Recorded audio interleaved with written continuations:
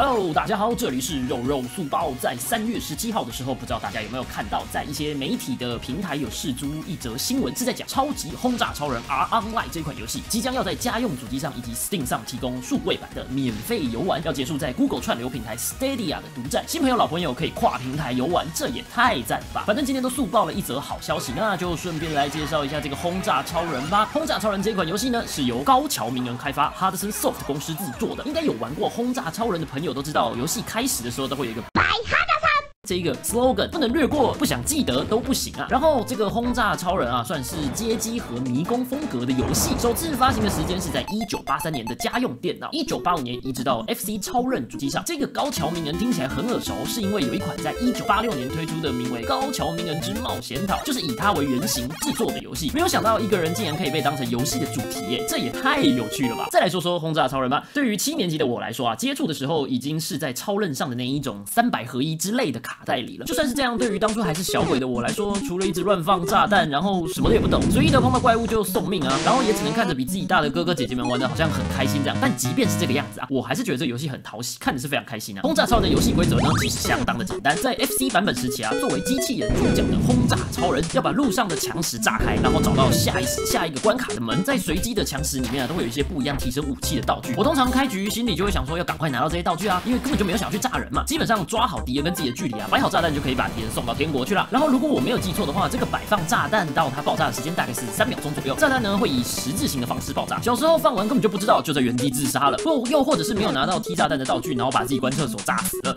也会有没有计算到火力啊，然后自己被波及到，然后死掉这样。种种的死法，相信很多玩家都已经经历过了。轰炸超人自从一九八三年啊到现在二零二一年啊，这三十八年间呢，一共发行了至少八十款游戏，都是跟轰炸超人有关的，实在是有够夸张的。我真的不敢想象自己要玩过这八十几款游戏啊。当然，然也不是说所有的游戏都跟经典款一样的玩法，后面的作品已经发展成了动作啊、益智类啊、角色扮演啊、动作角色扮演等等不一样的游戏类型啊。那这么多游戏类型的发展，也不可能只让故事让你只有杀敌、炸怪物、破关这么简单而已啊。为了让游戏有一个非常完整的故事，这个其中也发展出了一些不一样的重要角色。甚至到两千年的秋天呢，他还推出了改编版的动画。一个游戏能做到动画都出现，你想想看，在以前是多么厉害的一件事情。那游戏的地图呢，从以前经典款的绿底咖啡砖啊，到现在已经发展出超级多不一样情境的地图。每个地图里面啊，都会有一些相对应的功能。像是有些地图上有输送带啊，如果你把炸弹踢过去了，它就会照着输送带前进，一样过三秒之后爆炸。那常常自己也是会把炸弹踢过去啊，自己被炸死的那种好笑情况哦。那轰炸超人这个游戏啊，在我小的时候到长大的过程，基本上没有因为玩这个游戏感到生气啊，或是愤怒啊，因为它其实实在是太欢乐了。那我不禁想起在国中时期的时候啊，为之疯狂的一款类轰炸超人的游戏叫做《雪克星球二》，当时对我来说算是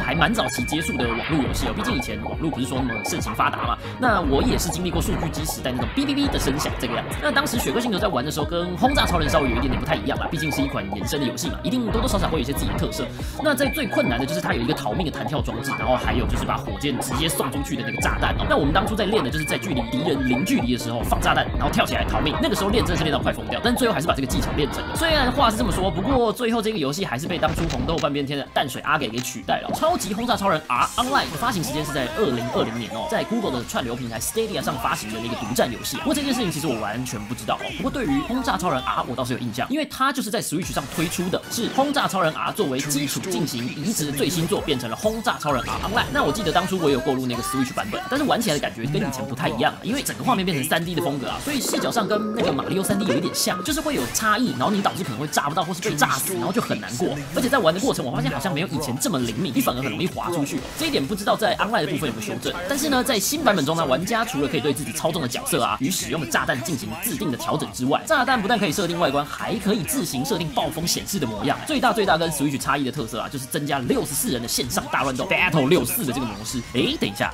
这个不就是糖豆人丢炸弹版吗？不过这个六十四人的大混战可不是把你们全部都塞在同一张地图里面哦，而是分成了好几个不一样的区域，每个区域都有门互相连接。不过通往各个区域的门只有在那个特定的时间才会打开啊，开启之后它自己就会倒数关闭。如果你没有及时进入的话，你可能就被淘汰了。透过这样的游戏模式啊，看谁生存到最后啊，真的是糖豆炸人的。PC 眼加机的免费游玩上线时间预定是在这个二零二一年内，到时候不知道是不是又可以掀起一股类似糖豆人那样的风潮呢？至少我们频道一定也要开一个直播来跟大家炸来炸去吧，开一个天下第一炸弹大会之类的。到时候请大家记得要参加。影片如果有任何有错误的地方，请大家留言告知我们，我们会尽力做修正。如果觉得我们的影片不错，记得给我们按一个赞哦，并且留言分享你的心得跟建议，让我们知道。如果你是肉粉，拜托拜托先帮我按一个赞，感谢大家今天的收看，我们下次再见喽，拜拜。